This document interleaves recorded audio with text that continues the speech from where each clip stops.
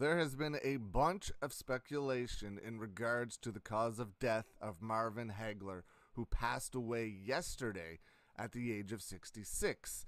Now, before Marvin Hagler passed away, legendary boxer Thomas Hitman Hearns posted this on Instagram, and I'll throw it up there for you.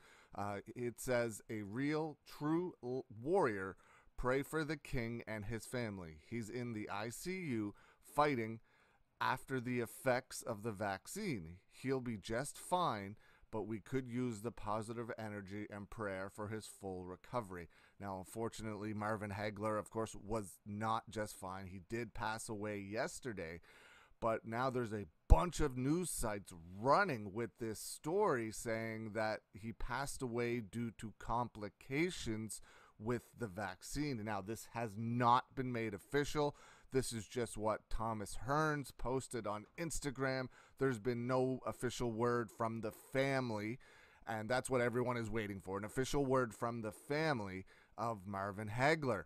But this story is picking up speed like crazy. Um, so I wanted to bring it all to you just uh, just so you know what's out there. But according to Thomas Hearns, a possible cause of death uh, seems to be, at least in his opinion, the vaccine, uh, the the COVID vaccine. But uh, again, that is just speculation. That is nothing confirmed. Uh, we are still waiting for confirmation from the family of uh, Marvin Hagler. Now, who knows? They don't have to officially release anything, so maybe we we won't know, but those things tend to get out somehow anyway. But uh, if as news breaks on this, I will continue to bring it to you. Still, such sad news yesterday that Marvin Hagler, the legend Marvin Hagler, passed away at the age of 66.